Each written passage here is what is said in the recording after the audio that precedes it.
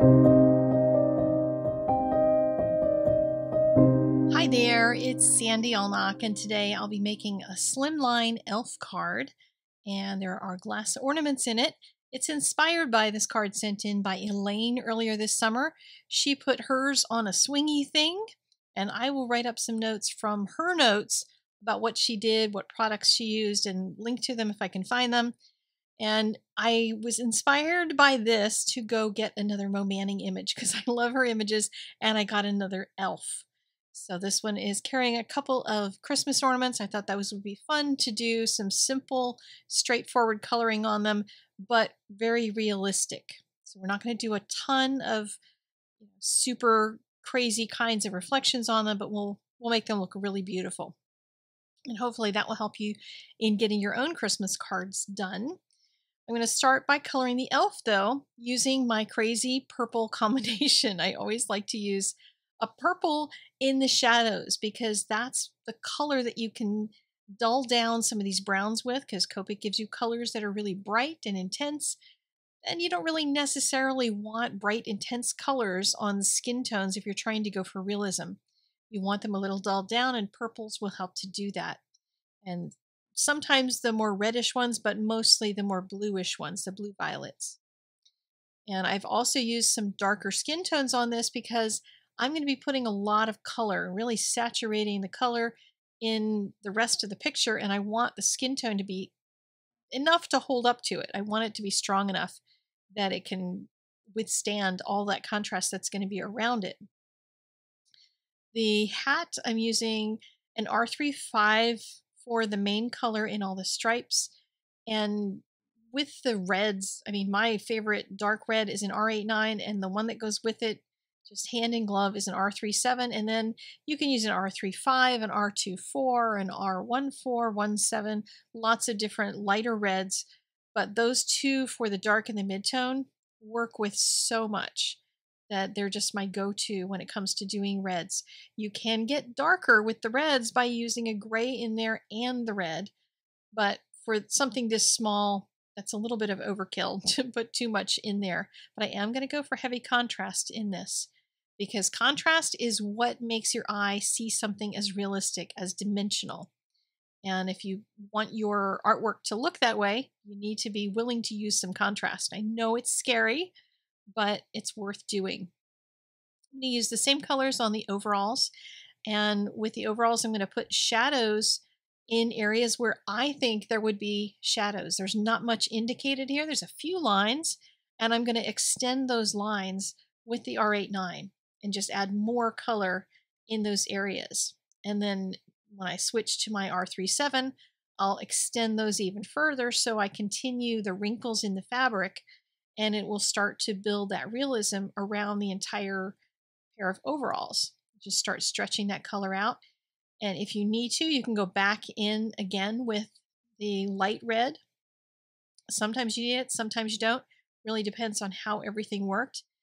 In this particular picture, I'm seeing in my head the light is coming from the upper right hand side. So all the shadows are on the left, the shadows on the hat are on the left.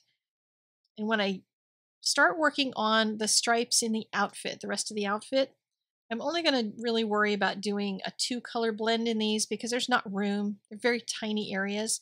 And once you convince somebody that it's real by looking at other areas, they're going to totally buy it even if you don't have a whole bunch of colors doing your, sh your shadow work in some of these small areas. Now this is where it's going to get scary for some of you. I'm going to use a C7 for my darkest on the whites. Yes, a dark gray on the whites because the whites are going to look white when they're in comparison to the darks. I'm not using a background in this, so the whites are going to need something else to balance off of to start to look realistic. So I'm using that really dark C7. Most people won't go that far, you know, I'm a little braver than a lot of people. So I did have a little bloop and went into the ear. Don't use the colorless blender when you're fixing that. Just use the color that's already there. I used one of the flesh tones and that just pushed that out right away. Next up, I'm using uh, another gray to just blend a little bit softly some of the areas that needed a little softening on the edges so that I get some roundness. But look how much better that hat looks when it's got that really dark color. I mean, it just makes a huge difference. And then there's highlights along the top of the arm and the back side of the back. So it matches the rest of the light coming from that upper right hand side. So I was debating about which color to do the shoes, so I left those for last and decided little red shoes would be adorable. So we've got red shoes on and any old random brown in the hair. There's only a few strands, so not much needed there. As I said, once you start adding a lot of realism to something else, you don't really have to worry about it too much in some of the smaller areas. And now I'm going to do one of the Christmas ornaments, and then we're going to do the other two together, but I'm going to do one in this order. And basically what I tend to do is start off with some light colors and I try to draw in where my highlight's going to be, but I leave it bigger than I want the highlight to be in the end. And I didn't want a pinpoint highlight, but I wanted a soft blend from the outside to the inside. And a soft blend is going to mean a lot of colors as we start working from the very darkest into the very lightest. There's a huge range from that R89, which is going to be our darks, to the R triple zero. So there's going to be a lot of transition work. And if you close up that highlight too soon, you're going to end up with no highlight at all because you as you keep pouring more ink into this, it's going to start bleeding. You need to be careful not to let it bleed outside of the image. So do that outside edge with your whatever red is going to be your main red and then don't touch it any more than you absolutely have to because you don't want to keep pouring more moisture into that portion of the paper. So here we go with the darkest red, and I'm going to put a bounced highlight from the face that you can kind of see the reflection of the face in the bottom of that ornament. And right now it's really bright. If I go over it with the R37, which is what I'm using right now, it's not really dark enough because it looks more like a gap or a hole or a design element or something. It's too sharp it's too contrasty. So I am going to have to dull that down. But I started working toward those highlights and just bringing that color up and then started trying to scrub at those edges. But I'm noticing that I'm starting to get a little bit of bleeding in the paper. I set it down for a second, just walked away from it so it could dry a little bit before I went on to the next step. And then I started with an R39. And once I added the R39, that gave me a better transition from the R89 up to the R37. And then I went cycled right back through all of the other colors again. And I'm doing this one more slowly than I'm going to do the other two. And you're going to see a little bit of a difference in how they come out because of it. It's kind of up to you whether or not you want to do them more quickly or you want to spend more time laboring over them. I never find that laboring does me a whole lot of good. so working quickly, we'll see how that goes. So here on these two, I'm going to put my main highlight should be in about the same place as it is on the other two. Now there are some science reasons why you would move it from one place to another because each of the ornaments is a different orientation to whatever the light source is. But in this case, we're just going to let them be about the same. I sketched in just so you could see where they're going to be some other bounced highlights that are going to be in the bottoms. But of course, I have to go over them with this base color as I start building up the colors anyway. So those are going to go away, but I sketched them in for myself so they're in my brain. I did go outside the lines, and you can't really repair red very well. You may know that already. So I've just extended the ornament a little bit larger and then once the R89 gets out there, you're not going to see any of that. Now, if you're coloring a very light pale color for your ornament, then hopefully you can use something else like a colorless blender or a white pen that will lighten that. But reds just don't really cooperate that way. So into the R89, I'm leaving some of those bounced highlights uh, bouncing off of the face. And then the top one has just a little bounce from each of the two ornaments down below it. I haven't looked at ornaments to see what they look like in this particular orientation because I'd have to see them with a light on them and set everything up. That's just too much work for my brain.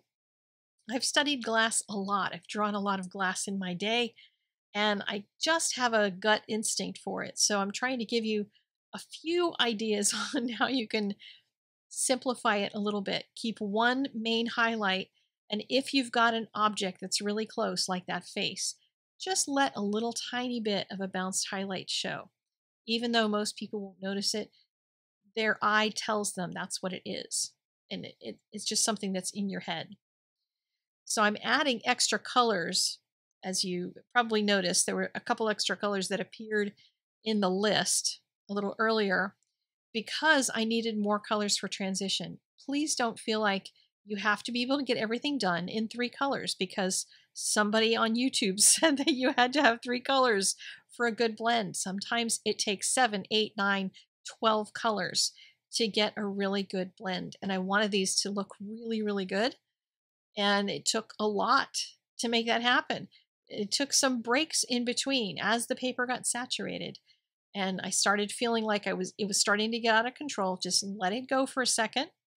Make sure you also have something underneath of it, have some white paper underneath of it, not a surface that's plastic or glass or wood because if any ink is pooling underneath, it's going to bounce back up into the paper and you're going to just be pouring more color back in.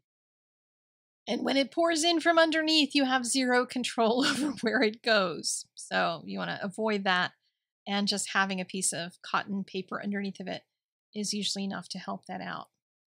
So I'm pretty satisfied with how this is going, you know, working my way back into those highlights. And I can make them now as small as I want them to be because I'm satisfied with everything else. And I can keep building into that if I had started with those tiny highlights, they would be gone by now. So I can keep them and then control with this final touch of the R triple zero exactly how much light I want on each of them.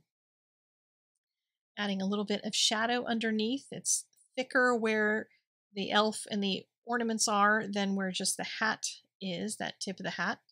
And used some gray for uh, caps on each one of the ornaments and some white because there's scallops at the bottom of each one of those caps and they they just have little decorative things on them so seem to need a little bit of highlight to make those sparkle just a bit.